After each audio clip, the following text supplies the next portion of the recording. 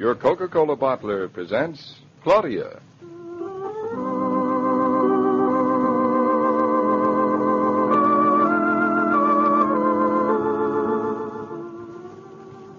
Claudia, based on the original stories by Rose Franken. Brought to you, transcribed, Monday through Friday by your friendly neighbor who bottles Coca Cola. Relax, and while you're listening, refresh yourself. Have a Coke.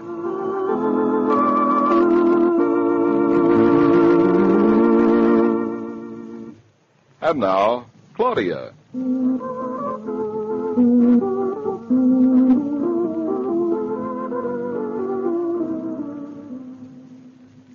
I know you're excited, but try to stand still, Claudia. How do you expect me to button you up when you're dancing a jig? You're tickling me, Mama, and your hands are cold. All right. You want to go unbuttoned? No, but I'll get you some gloves to wear.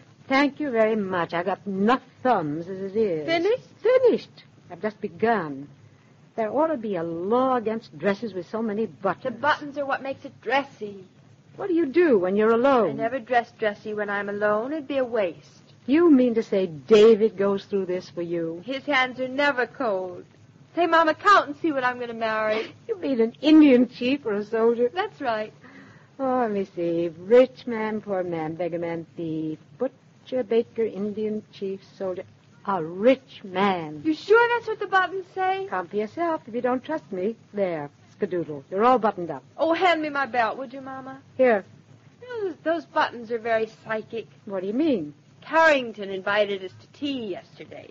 And all the buttons settle it. It's a sign. You believe in signs, don't you? When they work out right, I do. Well, you've just read my buttons. They say I'd marry a rich man. David and I are about to go and have tea with our fortune. Just like that. Just like that. Do I look all right? For the wife of a man who's just about to fleece the golden fleece? No.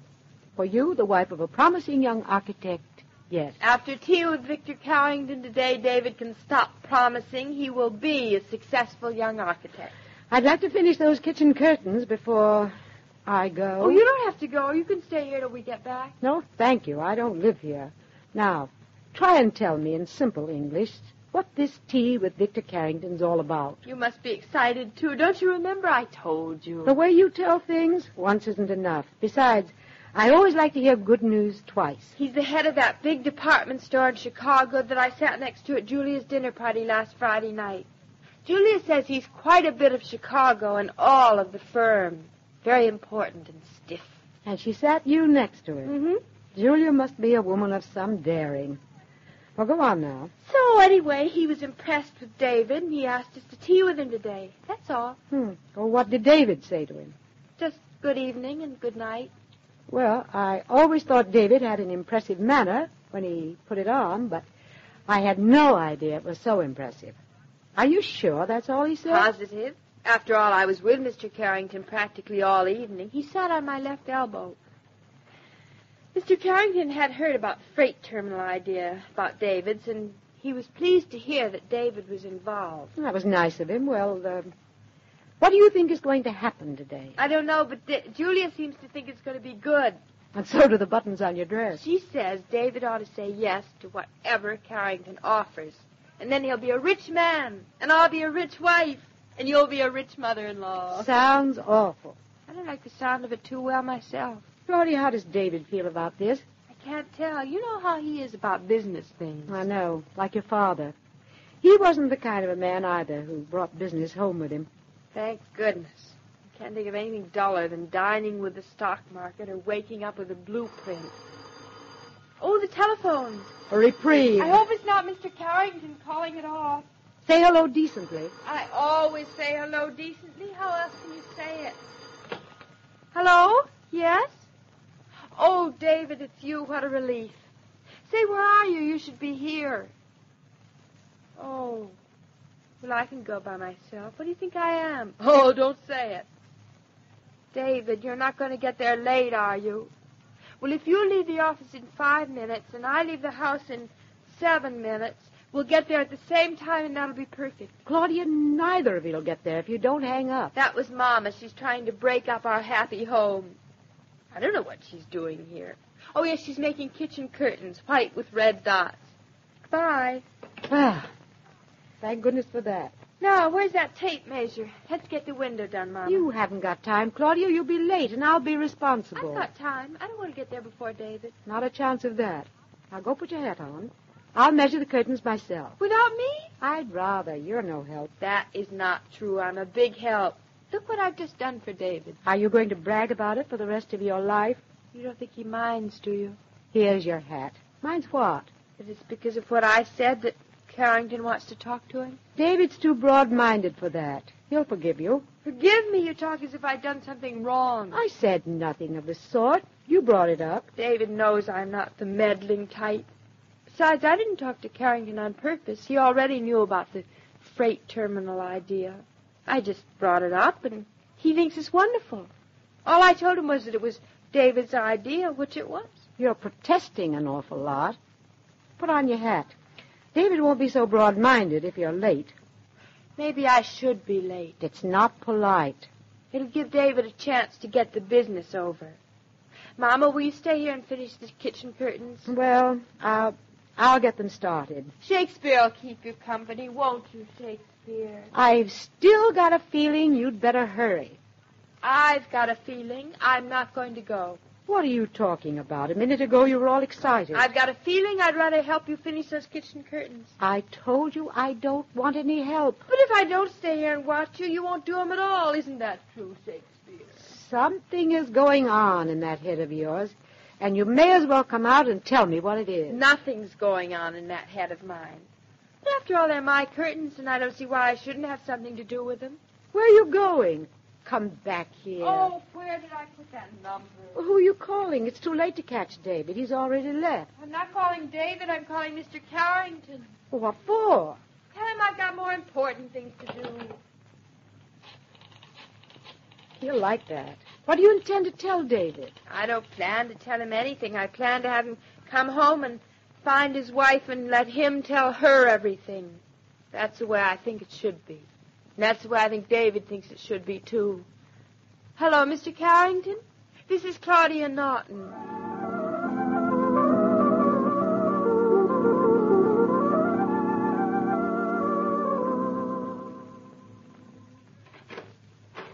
Hey, where are you? Claudia? Are you at home? Are you all right? I'm in the kitchen. I'm home. I'm all right. What happened to you? Carrington said you called and Nothing happened to me. See, I'm perfectly fine. Hello. Carrington said you called and that you were tied up on something important and you wouldn't be able to come. That's right. David, how'd it go? Is mother all right? She's fine, too. She just went home. And what was so important? Nothing was so important that you aren't going to tell me what happened with Carrington first. I've been on pins and needles. Well, it was pretty exciting. Was he nice? Couldn't have been nicer. What did he say? Don't just stand there. Tell me what he said. You haven't given me a chance. What did he say? First, you tell me what you've been doing. Oh, David, you're impossible. You love making me suffer. I think you're you're a, a A sadist. is that what you are? Mm-hmm. Well, what were you doing? I won't tell you until you tell me what Carrington said. He said you were a lovely girl. I know that. Conceited, too. No, just impatient. Well, he said he was very interested in this freight terminal idea. I know that too. What else did he say? He said that he'd been working out some such idea for his own business in Chicago. David, tell me something I don't know. you're cute when you're impertinent and impatient and nosy. But come to the point. He said that uh, he didn't have the right person to work it out for him. So he'd been unable to start moving on it. And And in words of one syllable, so he asked me more about my plans for the freight terminal. and Can't you say anything else? then what? Good. Well, then I, then after I told him uh, how I saw it, how it should be designed and built, he asked me if I would be interested in working out it further for him. That's wonderful, darling. That's just what you want to do, isn't it? Quite an opportunity, and Carrington's got the money to push it through. And they lived happily ever after. David, when do we start? Anytime I want to, it's up to me. Oh, wasn't it a stroke of luck that Julia put Carrington next to me? But most lucky of all is that you thought of the freight terminal in the first place. We better call up Roger and tell him. Yeah, that, that's the, the hitch. What is? Carrington wants me to work for him. But I, I don't understand.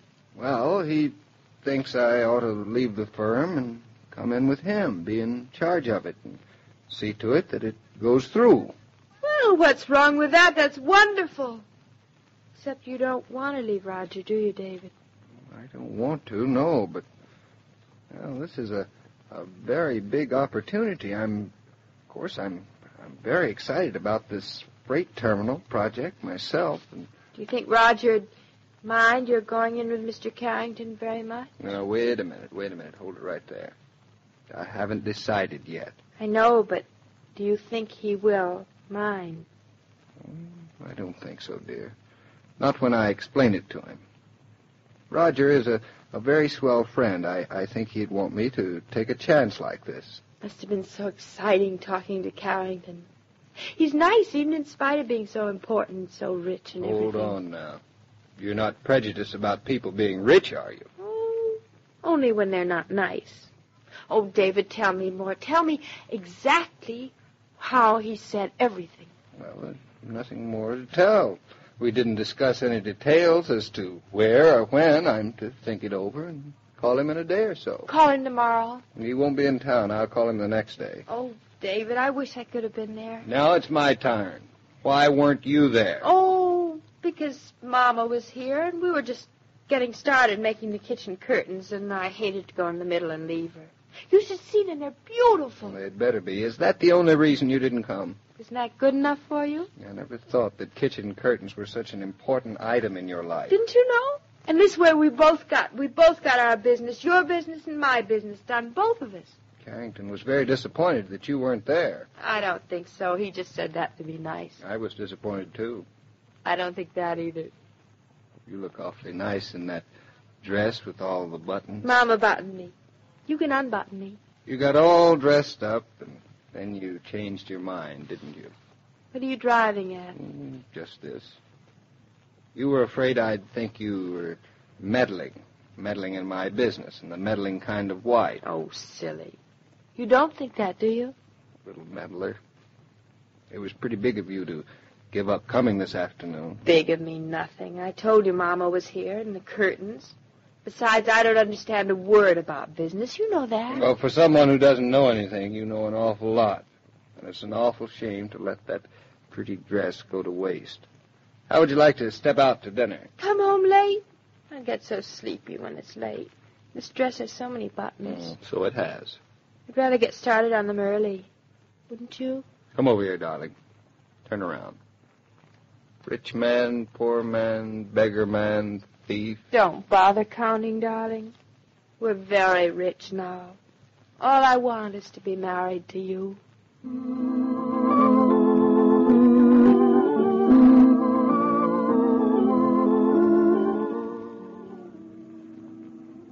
This broadcast of Claudia was supervised and directed by William Brown Meloney.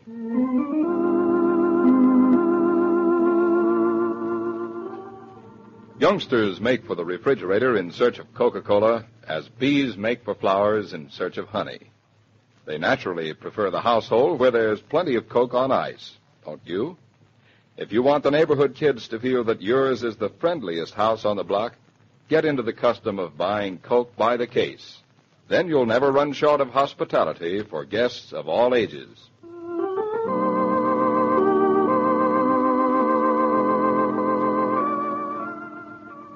Every day, Monday through Friday, Claudia comes to you transcribed with the best wishes of your friendly neighbor who bottles Coca-Cola.